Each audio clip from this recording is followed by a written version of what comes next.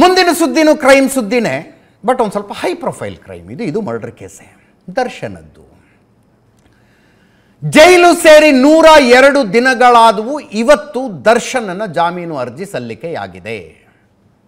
ದರ್ಶನ್ ಪರವಾಗಿ ವಕೀಲ ಸುನೀಲ್ ಬೇಲ್ ಪಿಟಿಷನನ್ನು ಫೈಲ್ ಮಾಡಿದ್ರು ಸಿ ಸಿ ಹೆಚ್ ಫಿಫ್ಟಿ ಸೆವೆನ್ನಲ್ಲಿ ಆಕ್ಷೇಪಣೆ ಸಲ್ಲಿಸಬೇಕು. ಅಂದರೆ ದಟ್ಸ್ ಅ ಪ್ರಾಸೆಸ್ ನಮ್ಮ ಆರೋಪಿ, ನಮ್ಮ ಕ್ಲೈಂಟಿಗೆ ಬೇಲ್ ಕೊಡಿ ಅಂತ ದರ್ಶನ್ ಪರ ವಕೀಲರು ಅರ್ಜಿ ಸಲ್ಲಿಸಿದಾಗ ಪ್ರಾಸಿಕ್ಯೂಷನ್ಗೆ ನ್ಯಾಯಾಲಯ ಕೇಳುತ್ತೆ.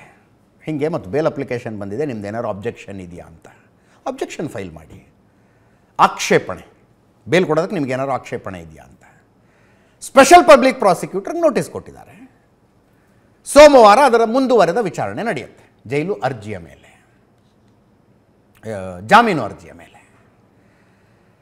ಇನ್ನೊಂದು ಕಡೆ ಜೈಲಿನಲ್ಲಿರುವ ದರ್ಶನ್ನು ಪ್ಲಾಸ್ಟಿಕ್ ಚೇರು.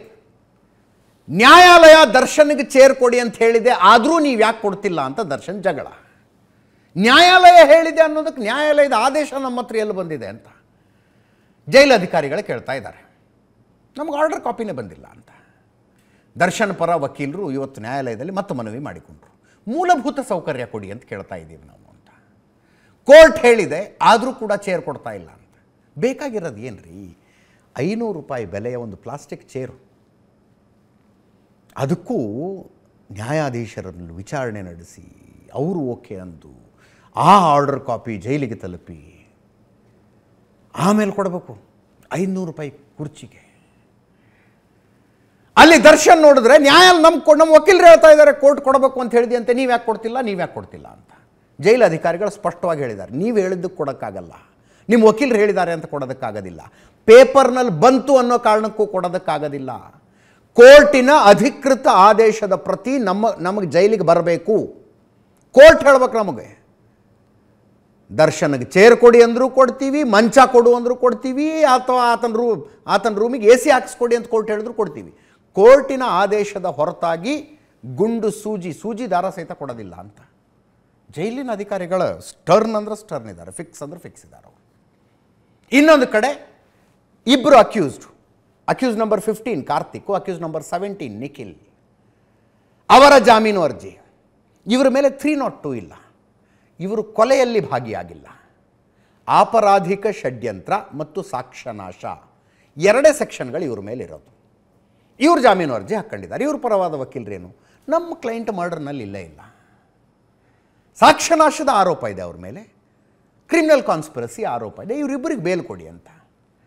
ಇವರ ಬೇಲ್ ಅರ್ಜಿ ಕೂಡ ಸೆಷನ್ಸ್ ಕೋರ್ಟ್ಗೆ ಬಂತು. ಸಿ ಸಿ ಹೆಚ್ ಫಿಫ್ಟಿ ಸೆವೆನ್ಗೆ ಬಂತು. ಈ ಈ ಸಂದರ್ಭದಲ್ಲಿ ಒಂದು ಇಂಟ್ರೆಸ್ಟಿಂಗ್ ಇದನ್ನು ವಾದ ಪ್ರತಿವಾದ ಅನ್ನಂಗಿಲ್ಲ. ಚರ್ಚೆ ಅಂತಾರೆ ಇದಕ್ಕೆ. ಅಬ್ಸರ್ವೇಷನ್ನು ಅಂತಾರೆ. ಒಂದು ಹಂತದಲ್ಲಿ ಸ್ಪೆಷಲ್ ಪಬ್ಲಿಕ್ ಪ್ರಾಸಿಕ್ಯೂಟರ್ ಪ್ರಸನ್ನ ಕುಮಾರರ ಕೆಲಸ ಮಾಡ್ತಾ ಇರುವ ರೀತಿಗೆ ಆರೋಪಿಗಳ ಪರ ವಕೀಲರು ಕೂಡ ಮೆಚ್ಚುಗೆ ಸೂಚಿಸುವಂಥದ್ದಾಯಿತು. ಆರೋಪಿಗಳ ಪರ ವಕೀಲರು. ನಾವು ನೋಡ್ತಾ ಇದ್ದೀವಿ, ತುಂಬ ಹಿಂದಿನಿಂದಲೂ, ಅಂದರೆ ವಸಾಹತುಶಾಹಿ ಕಾಲದಿಂದಲೂ ಅಂತ. ಅಂದರೆ ಬ್ರಿಟಿಷರಿದ್ದಾಗಲಿಂದಲೂ ಪಬ್ಲಿಕ್ ಪ್ರಾಸಿಕ್ಯೂಟರ್ ಅಂದರೆ ಪೊಲೀಸರು ಏನು ಹೇಳ್ತಾರೆ ಅದನ್ನ ತಂದು ಕೋರ್ಟಿನ ಮುಂದೆ ಹೇಳೋದೇ ಆಗಿತ್ತು. ಬಟ್ ಪ್ರಸನ್ನ ಕುಮಾರರ ಹಂಗಲ್ಲ ಅಂತ ಆರೋಪಿಗಳ ಪರ ವಕೀಲರು ಹೇಳದೆ, ಹೇಳಿದ್ರು ಇವತ್ತು.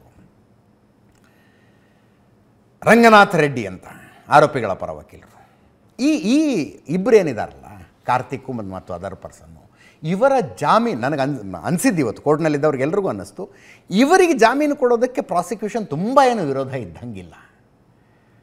ಕಾರ್ತಿಕ್ ವಿರುದ್ಧ ಒನ್ ಟ್ವೆಂಟಿ ಬಿ ಮತ್ತು one nought two nought one ಅಡಿಯಲ್ಲಿ ಆರೋಪ ಇದೆ. ಒನ್ ಟ್ವೆಂಟಿ ಬಿ ಮತ್ತು two nought one one one twenty B ಅಂದರೆ criminal conspiracy, two nought one ಅಂದರೆ ಸಾಕ್ಷನಾಶ if I am not wrong ಸಾಕ್ಷನಾಶದಲ್ಲಿ ಆರೋಪಿಗಳು ಒಳಸಂಚು ರೂಪಿಸಿದ್ದಾರೆ. ಇದನ್ನ ಪ್ರಸನ್ನಕುಮಾರ್ ನೀವು ಸ್ಪೆಷಲ್ ಪಬ್ಲಿಕ್ ಪ್ರಾಸಿಕ್ಯೂಟರ್ ಹೇಳಿದ್ದು. Two not one bailable section ತುಂಬ ಚೆನ್ನಾಗಿ ತನಿಖೆ ನಡೆಸಿ ಚಾರ್ಜ್ ಶೀಟ್ ಸಲ್ಲಿಸಿದ್ದಾರೆ. ನನ್ನ ಇಪ್ಪತ್ತ್ಮೂರು ವರ್ಷದ ಅನುಭವದಲ್ಲಿ ಅತ್ಯುತ್ತಮ ಚಾರ್ಜ್ ಶೀಟ್ ಇದು ಅಂತ ಪ್ರಸನ್ನ ಕುಮಾರ್ ಅವರು ಹೇಳಿದ್ರು. ಸ್ಪೆಷಲ್ ಪಬ್ಲಿಕ್ ಪ್ರಾಸಿಕ್ಯೂಟರ್ ಹೇಳಿದ್ರು. ಬೆಸ್ಟ್ ಚಾರ್ಜ್ ಶೀಟ್ ಇದು, ನನ್ನ ಇಪ್ಪತ್ತ್ಮೂರು ವರ್ಷಗಳ ಅನುಭವದಲ್ಲಿ ಅಂತ. ಪೀಠದಲ್ಲಿ ಕುಳಿತಿದ್ದವರು ಜೈಶಂಕರ್ ಅಂತ, ನ್ಯಾಯಾಧೀಶರು. ಅವ್ರು ಹೇಳಿದ್ರು, ಹೌದು, ನಾನು ಕೂಡ ಚಾರ್ಜ್ ಶೀಟ್ ನೋಡಿದೆ. ಒಳ್ಳೆ ಇನ್ವೆಸ್ಟಿಗೇಷನ್ ಆಗಿದೆ ಅಂತ. ನ್ಯಾಯಾಧೀಶರಾದ ಜೈಶಂಕರ್ ಅವರು ಹೇಳಿದ್ರು. ಅದಕ್ಕೆ S P P Prasanna Kumar bailable section ಇರೋದ್ರಿಂದ ಕೋರ್ಟಿನ ಸಮಯ ವ್ಯರ್ಥ ಮಾಡದೆ ನಿರ್ಧಾರ ಮಾಡಬಹುದು. ಬೇಲೆಬಲ್ ಸೆಕ್ಷನ್ಗಳಿವೆಲ್ಲ ಮ್ಯಾಜಿಸ್ಟ್ರೇಟ್ ಮುಂದೆ ಹೋಗಿ ಶೂರಿಟಿ ಕೊಟ್ಟು ಬಿಡುಗಡೆ ಆದೇಶ ತಗೊಳ್ಳಿ ಅವರು ಅಂತ. ಸೆಷನ್ಸ್ ಕೋರ್ಟ್ ಮುಂದೆ ಯಾಕೆ ಬಂದಿದ್ದೀರಿ? ಮ್ಯಾಜಿಸ್ಟ್ರೇಟ್ ಕೋರ್ಟಿಗೆ ಹೋಗಿ. ಅಲ್ಲಿ ಶೂರಿಟಿ ಕೊಟ್ಟು ರಿಲೀಸ್ ಆರ್ಡರ್ ತಗೊಂಡು ಜೈಲಿಗೆ ಹೋಗಿ ಬಿಡಿಸ್ಕೊಂಡು ಹೋಗಿ ಇವರನ್ನು ಅಂತ. C R P C four thirty six ಅಡಿಯಲ್ಲಿ ಮ್ಯಾಜಿಸ್ಟ್ರೇಟ್ ಮುಂದೆ ಜಾಮೀನು ಅರ್ಜಿ ಸಲ್ಲಿಸಬಹುದು. ಅದಕ್ಕಾಗಿ ಸೆಷನ್ಸ್ ಕೋರ್ಟ್ ಈ ಅರ್ಜಿಗಳನ್ನು ವಜಾಗೊಳಿಸಬೇಕು. ಅಂದರೆ ನೀವು ಜಾಮೀನು ಕೊಡಬೇಕೋ ಕೊಡಬಾರ್ದು ಈ ಆರೋಪಿಗಳಿಗೆ ಅನ್ನೋದು ಇಲ್ಲಿ ಚರ್ಚೆ ಆಗುವಂಥ ವಿಷಯನೇ ಅಲ್ಲ. ನೀವು ಹೋಗಿ ಮ್ಯಾಜಿಸ್ಟ್ರೇಟ್ ಕೋರ್ಟಿಗೆ ಹೋಗಿ. ಮ್ಯಾಜಿಸ್ಟ್ರೇಟ್ ಕೋರ್ಟ್ನಲ್ಲಿ four thirty six C R P C ಪ್ರಕಾರ ಅರ್ಜಿ ಹಾಕ್ಕೊಳ್ಳಿ. ಅಂತ ಹೇಳಿ ಇಲ್ಲಿ ಸಲ್ಲಿಸಿರುವ ಜಾಮೀನು ಅರ್ಜಿಯನ್ನು ವಜಾ ಮಾಡಿ ಅಂತ ಸ್ಪೆಷಲ್ ಪಬ್ಲಿಕ್ ಪ್ರಾಸಿಕ್ಯೂಟರ್ ಹೇಳಿದ. ಅದಕ್ಕೆ ರಂಗನಾಥ್ ರಂಗನಾಥ್ ರೆಡ್ಡಿ, ಈ ಕಾರ್ತಿಕ್ ಪರ ವಕೀಲರು. ಒಂದು ವೇಳೆ ಮ್ಯಾಜಿಸ್ಟ್ರೇಟ್ ಕೋರ್ಟ್ಗೆ ಸೆಕ್ಷನ್ ಫೋರ್ ಥರ್ಟಿ ಸಿಕ್ಸ್ ಅಡಿಯಲ್ಲಿ ಅರ್ಜಿಯನ್ನು ಪರಿಗಣಿಸದೇ ಇದ್ದಲ್ಲಿ ಸೆಷನ್ಸ್ ಕೋರ್ಟಿಗೆ ಅರ್ಜಿ ಸಲ್ಲಿಸಬೇಕು. ಅದಕ್ಕಾಗಿ C R P C four thirty ನೈನ್ರ ಅಡಿಯಲ್ಲಿ ಸೆಷನ್ಸ್ ಕೋರ್ಟ್ ಪರಿಗಣಿಸಬೇಕು. ಆರೋಪಿಗಳ ವಿರುದ್ಧ ಬೇಲೆಬಲ್ ಸೆಕ್ಷನ್ ಅಡಿಯಲ್ಲಿ ಆರೋಪ ಇದೆ. ನಿರೀಕ್ಷಣಾ ಜಾಮೀನು ವಿಚಾರದಲ್ಲಿ ಮಾತ್ರ section four thirty six magistrate ಮುಂದೆ ಅರ್ಜಿ ಸಲ್ಲಿಸಬೇಕು. ಆದರೆ section four four thirty nine ಅಡಿಯಲ್ಲಿ ರೆಗ್ಯುಲರ್ ಬೇಲು ಸೆಷನ್ಸ್ ಕೋರ್ಟ್ ಕೊಡಬಹುದು. ಅದಕ್ಕಾಗಿ ಜಾಮೀನು ಅರ್ಜಿಯನ್ನು ಸೆಷನ್ಸ್ ಕೋರ್ಟ್ ಮುಂದೆ ಸಲ್ಲಿಸಿದ್ದೀವಿ ನೀವೇ ವಿಚಾರಣೆ ನಡೆಸಿ ಆದೇಶ ಕೊಡಿ ಅಂದರು. ಆ ಸಂದರ್ಭದಲ್ಲಿ ರಂಗನಾಥ್ ರೆಡ್ಡಿ ಅವರು ಹೇಳಿದ್ದು ವಸಾಹತುಶಾಹಿ ಕಾಲದಿಂದಲೂ, ಅಂದರೆ ಬ್ರಿಟಿಷರ್ ನಮ್ಮನ್ನು ಆಳ್ತಾ ಇದ್ದ ಕಾಲದಿಂದಲೂ ಪಬ್ಲಿಕ್ ಪ್ರಾಸಿಕ್ಯೂಟ್ರು ಅಂದರೆ ಪೊಲೀಸರು ಹೇಳಿದ್ದನ್ನು ತಗೊಂಬಂದು ಕೋರ್ಟಿಗೆ ಹೇಳ್ತಾ ಇದ್ರು. ಪ್ರಸನ್ನ ಕುಮಾರ್ ಹೆಂಗಿದ್ದಾರೆ ಅಂದರೆ ಪ್ರಾಸಿಕ್ಯೂಟರ್ ಅನ್ನುವ ಶಬ್ದಕ್ಕೆ ನಿಜವಾದ ಅರ್ಥ ಕೊಟ್ಟಿದ್ದಾರೆ ಅಂತ. ಪ್ರಾಸಿಕ್ಯೂಟರ್ ಅನ್ನೋ ಶಬ್ದಕ್ಕೆ ನಿಜವಾದ ಅರ್ಥ ಕೊಟ್ಟಿದ್ದಾರೆ. ಪ್ರಸನ್ನ ಕುಮಾರ್ ಸ್ಪಷ್ಟವಾಗಿ ಕಾನೂನು ಹೇಳಿದ್ದಾರೆ ಅಂತ ರಂಗನಾಥ ರೆಡ್ಡಿ. ಇದು ಇದು ನೋಡಿ, ಅಪರೂಪದಲ್ಲೇ ಅಪರೂಪದ ವಿದ್ಯಮಾನ ಅನ್ಬೇಕಿದ್ನ. ಡಿಫೆನ್ಸ್ ಅಡ್ವೊಕೇಟ್ ಅಂದರೆ ಯಾರು? ಆರೋಪಿಗಳ ಪರವಾಗಿ ಯಾರು ವಾದ ಮಾಡ್ತಿದ್ದಾರೆ? ಅವರು. ಸ್ಪೆಷಲ್ ಪಬ್ಲಿಕ್ ಪ್ರಾಸಿಕ್ಯೂಟರ್ ಅಥವಾ ಪಬ್ಲಿಕ್ ಪ್ರಾಸಿಕ್ಯೂಟರ್ ಅಂದರೆ ಯಾರು? ಪ್ರಾಸಿಕ್ಯೂಷನ್ ಪರವಾಗಿ ವಾದ ಮಾಡ್ತಿರ್ತಾರೆ. ಅರ್ಥಾತ್ ಸ್ಟೇಟ್ ಪರವಾಗಿ ವಾದ ಮಾಡ್ತಿರ್ತಾರೆ ಅವರು. ಸ್ಟೇಟ್ ಪರವಾಗಿ ವಾದ ಮಾಡೋದಂದರೆ ನೊಂದವರ ಪರವಾಗಿ, ದೂರುದಾರರ ಪರವಾಗಿ ಇರ್ತಾರೆ.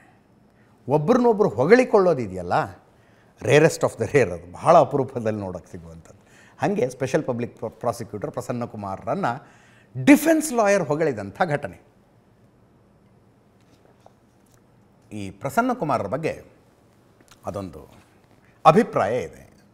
ವೆಲ್ ವರ್ಸ್ಡ್ ಅಡ್ವೊಕೇಟ್ ತುಂಬ ಎಥಿಕಲ್ ಅಡ್ವೊಕೇಟ್ ಕೂಡ. N I A, C B I ಕೇಸ್ಗಳನ್ನು handle ಮಾಡ್ತಾರೆ ಅವರು. ಪ್ರಸನ್ನ ಕುಮಾರ್ ಹತ್ರ ಕೇಸ್ ಹೋಗಿದೆ ಅಂದರೆ ಆರೋಪಿಗಳು ಒಲವಲ ಅಂದ್ಬಿಡ್ತಾರೆ ಇಲ್ಲಿಗೆ ಬಂದು ನಿಂತಿದೆ ಸೋಮವಾರ ಅರ್ಜಿಗಳ ಮುಂದಿನ ವಿಚಾರಣೆ ಆಗುತ್ತೆ.